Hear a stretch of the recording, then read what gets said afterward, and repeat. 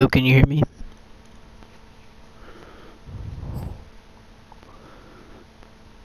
What is up? I can hear myself.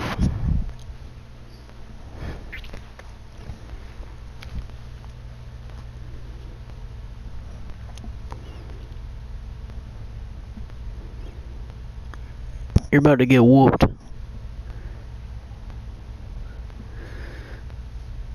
EA Sports coverage of the National Football League takes us to the City of Angels, Los Angeles, California. Today, we've got a good NFC matchup on tap between the Dallas Cowboys and the Los Angeles Rams.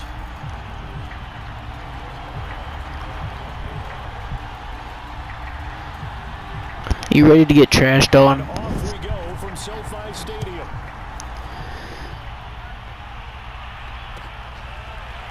From the end zone, here comes Brandon Powell. And we will not see a run back on the opening kickoff. This will be a touchback.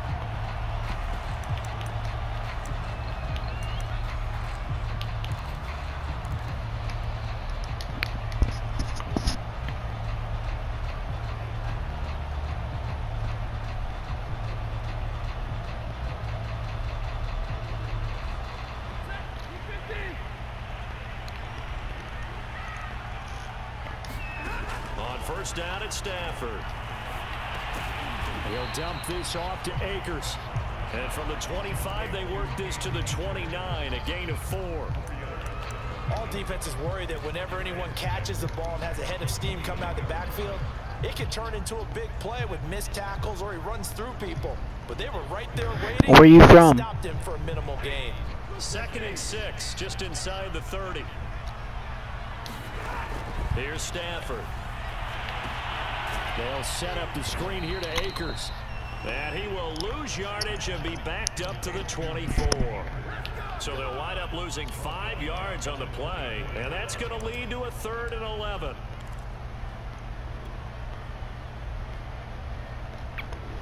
Can you hear me?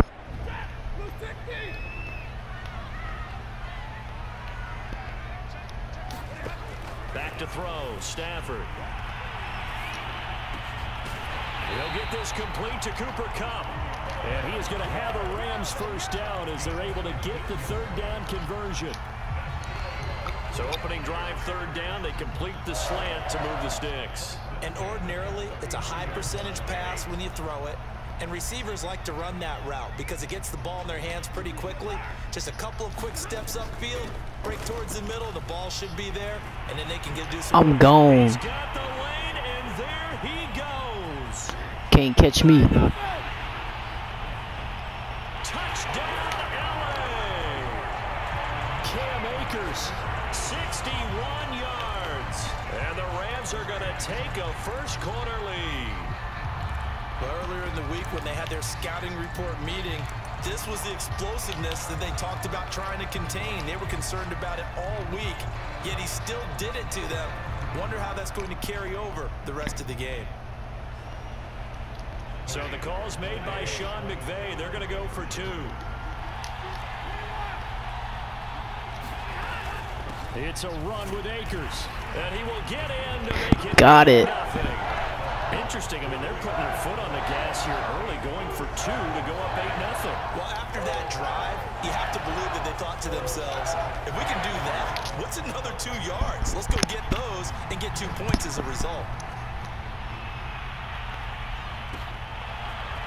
Pollard to return from the end zone.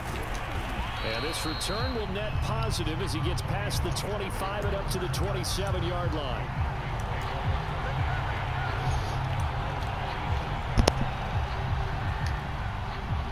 So Prescott and the Cowboys now with a first and 10 at their own 27. They'll try and start this drive in the under a heavy rush and down he goes. Sean Robinson, too much to handle that time, gets the sack. It may be cliche, but it is something that holds up over time, doesn't it? If you're the visitors, you don't want to let the crowd in the game early. Yeah, and that's exactly what they did there. But you said also this defense, they're going to give them a lot of looks like we just saw there, aren't they? They certainly are. They're a proud unit, and they're going to ride the momentum of this crowd with them, and that's why they got after them early. To try again after the sack, Prescott. And that is incomplete. No, sir. A lot of force bearing down on him there. He could not hang on. It's third down. Well, as we get ready for third down, let's go back and recap here. The sack on the first play of this drive, that threw a wrench in what they were trying to accomplish because they were compelled to throw the ball on second down. A running play was not in the works. And that incompletion set up another passing down here on third and long. So Amari Cooper out of Northwestern High School in Miami making a nice play there. And it's so funny that when I was going through the draft process when he came out of Alabama and was inquiring about him and his skills, they say it all began back in Miami. He really became a pro receiver at a young age because of his attention to detail and precision. But don't forget his athletic ability. That's what made that catch there. He did spend one year with Teddy Bridgewater. Touchdown! Amari Cooper 56 yards. And now the Cowboys are within a two-point conversion of tying up the game. As a former DB, you might not like to see that, but from a wide receiver's perspective, those are the plays they dream of. Correct on both counts, all right? Because once he took off, I mean, let's face it, that should have been done in Big Sky Country. Aren't any speed limits out there? And off he went. Glad I wasn't the one trying to chase him. So Dak will bring the Cowboys up to go for the two-point try.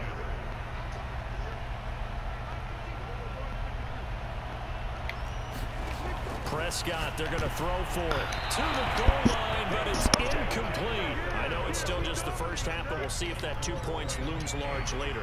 I would have kicked it. And I know that they were trying to equal the score, but sometimes you kind of get seduced into that. It's the first half. Kick the extra point and continue to play so you don't have to chase points later. And they'll start at the 25 as Powell decides against returning it.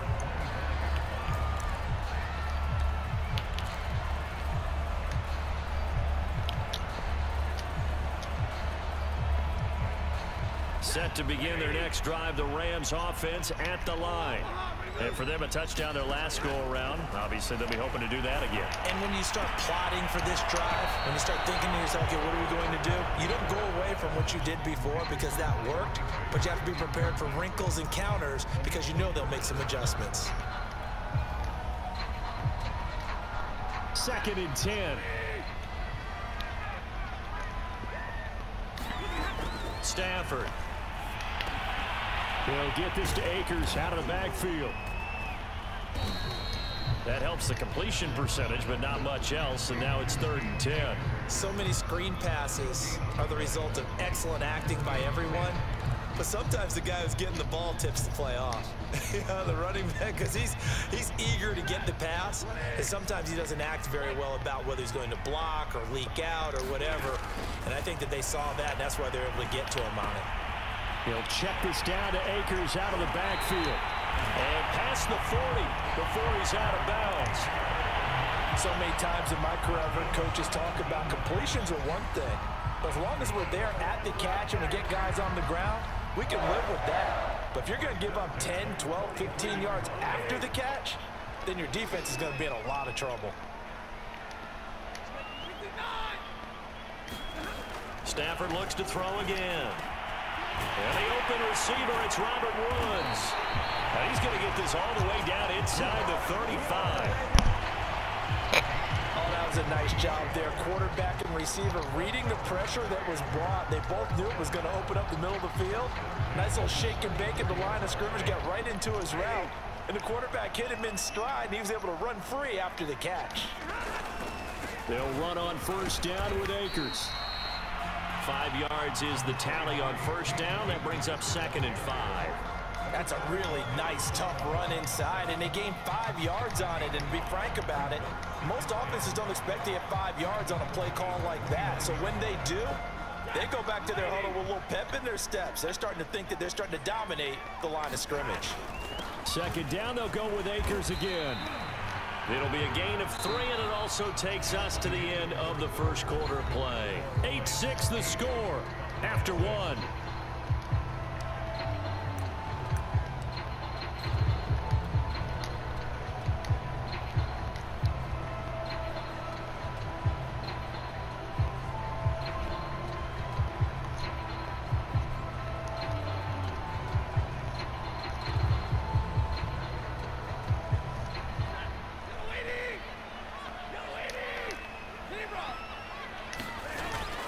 Try and run for this with Akers. And Akers, he is not going to get there.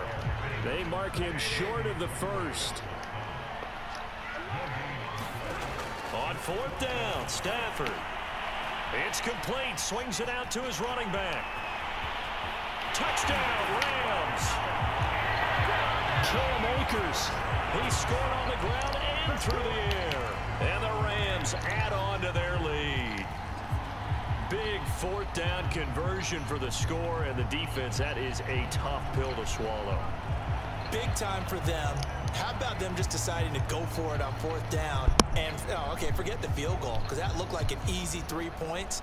Yeah, you might have had a defensive breakdown in there, but they pressed the issue and found a way to get it into the end zone. Give them big credit for that. Stafford's going to try and throw for it. Toward the end zone, but that's going to wind up incomplete. Well, split the difference, and they're right where they would have been with two PATs. They got the two-point conversion first time they failed there. Interesting, isn't it? Because the first time you go after your first score, that feels like a gamble. The second time when they tried it again, that felt like, what the heck, right? Because, as you said, even if you miss it, you split the difference, and you're right on schedule at 14 points.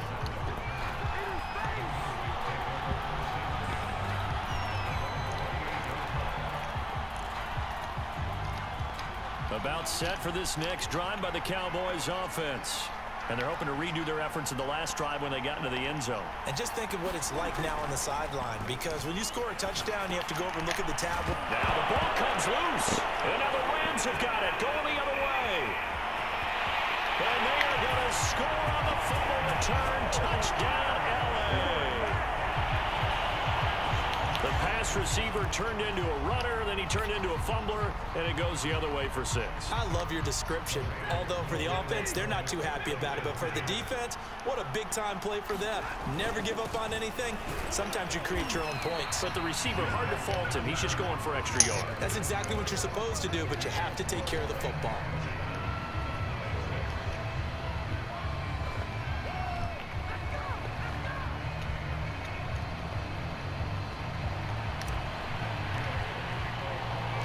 So here's the kickoff now as they'll get it again following that fumble return for a score.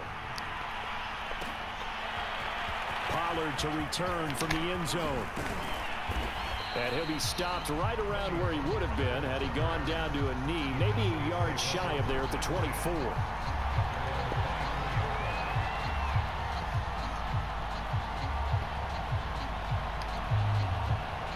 About set for this next drive by the Cowboys offense.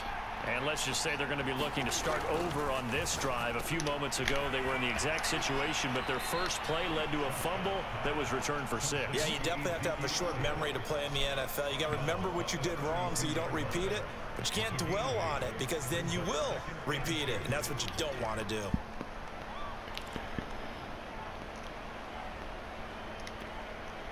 Ahead of the chains now, second and two. Now a give here to Pollard.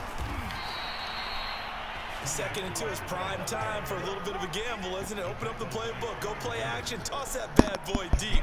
But in this situation, go ahead and give it to your back. Let him pick up a first down. Keep the sticks moving.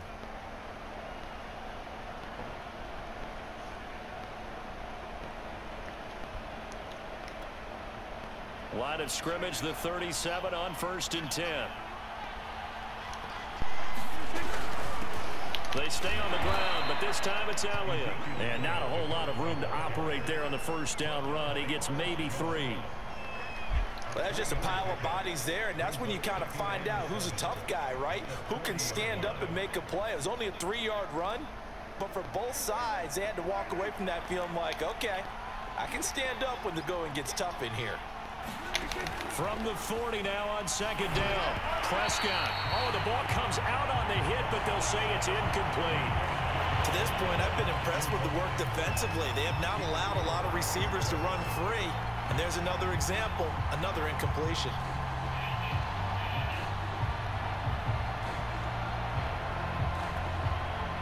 They head to the line facing a third and seven following the incompletion on second down. Prescott from the gun. He'll get this out wide here to Elliott. And he gets this one to midfield before he's brought down. Well, these guys have definitely been outplayed in the first half, but I like their countenance. I like the way that they haven't panicked out there, the way they're carrying themselves. They're starting to move the ball, and what you have to do, maintain your poise and start to put together some drives. They'll go with Pollard here on first down. A'Shawn Robinson there on the stop. That's a strong pickup right there on first down. And as this drive goes on, we're seeing an offensive line and running game imposing its will.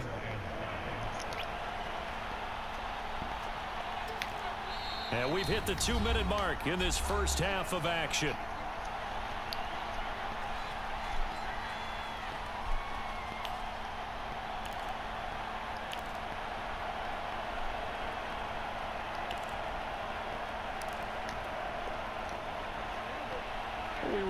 You in just a couple of minutes, we'll get you to Orlando and our good friend Jonathan Coachman. Coach will run through some of the numbers and the next-gen stats from this first half of football so far.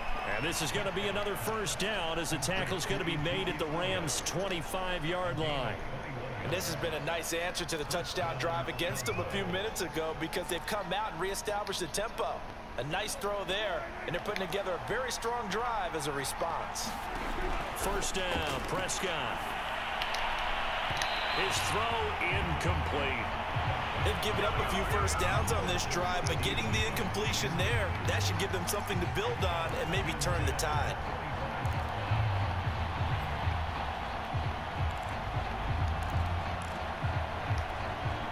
Here's second and 10.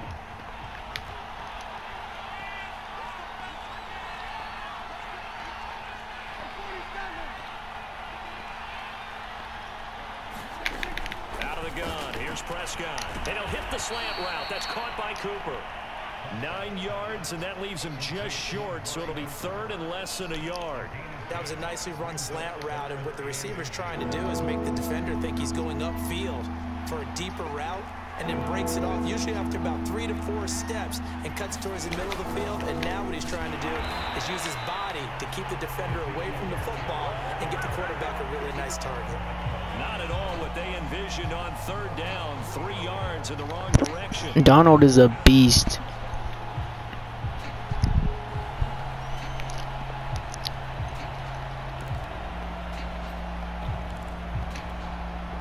And no signs of the field goal unit. They're going for it on fourth down. Prescott now. Thank you. Thank you so much. I appreciate it. And a big turnover there as his guys will get the football back. Charles, not only is that an interception, it's one when you were really knocking on the door for a touchdown inside the red zone. You're actually thinking points. No matter what, at worst, you're thinking kicking a field goal and getting three. We might look back on this in the second half and say, you remember when they didn't get points on that drive? This could cost him. And this heads straight to the sideline. I don't think they're going to let him get away with that. Nope, they won't. Here comes the flag.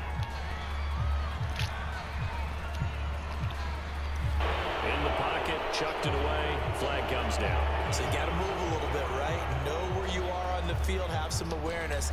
Tackle to tackle. You got to get outside of that tackle box in order to get that done. They lose the yardage, and of course they also lose the down on the grounding call, and it's quickly second and long.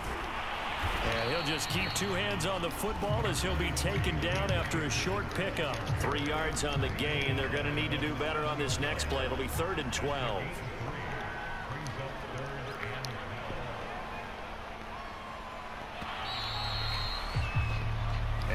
It for the end of the second quarter. This is the NFL, and it's on EA Sports. And we welcome you back now. Alongside Charles Davis, I'm Brandon Gaudin, getting set for quarter number three here. It's the Cowboys who get the football first, and they trail here as well as we resume action in the third quarter. Pollard to return from the end zone. And they'll get him down right at the 25-yard line, so the same result had he opted for the touchback.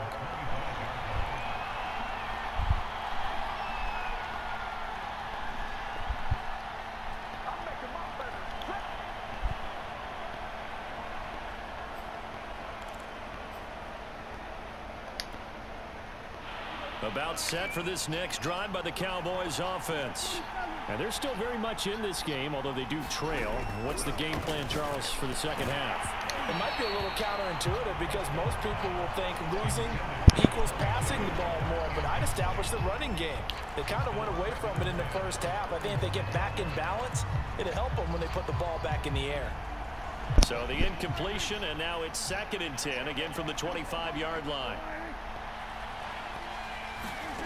From the shotgun, it's Prescott. Looking middle, and it's incomplete. But plain and simple, that's the second time today that he's dropped a pass. And that one, I think maybe even a little easier than the earlier one that he dropped. Surprising. Was this game announced as a night game prior to, and maybe his rhythm is just off? He's got know. thrown off. He's got to wake up, enjoy the sunshine, and go play. This offense in desperate need of a conversion as they come up on third down. Looking to throw. Prescott. Letting one fly deep for Cooper. And that is caught. One-handed. Oh, my. He pulled it in. A big play that time through the air. 32 yards. And you need a big play? Go to your big play guy. Listen, that's football 101. When you have to have it, you expect that guy to step up. A lot of people call these receivers divas. Sometimes just leadership when they get in the huddle and say, get me the ball. I'm about to make a big play. And he's able to carve out about six there, down to the 37. That play wasn't quite as big as the play that preceded it, but still, got to like the way they're moving the football, partner. Absolutely. Pretty good room to run on that last play. Yeah, they didn't get a first down, but still, you'll take runs like that each and every time, won't you? Second and four.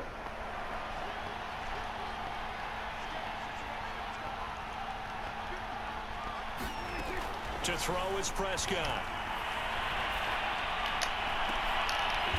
Oh, that's into a sea of bodies, and it's intercepted. Thank you. Picked up